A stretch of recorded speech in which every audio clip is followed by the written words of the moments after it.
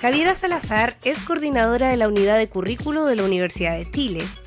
Durante una semana, ella fue la encargada de realizar el cuarto módulo del Diplomado de Docencia Universitaria, que estuvo enfocado en la evaluación por competencias y en el cual participaron más de 30 académicos de nuestra casa de estudios. Muy importante, eh, principalmente apuntado a los aspectos de evaluación, pero tocamos otros aspectos previos, estilos de aprendizaje, lo que son las competencias y creo que nos ha servido bastante. Este diplomado es organizado por la Dirección de Docencia y Acreditación de la Universidad de Magallanes.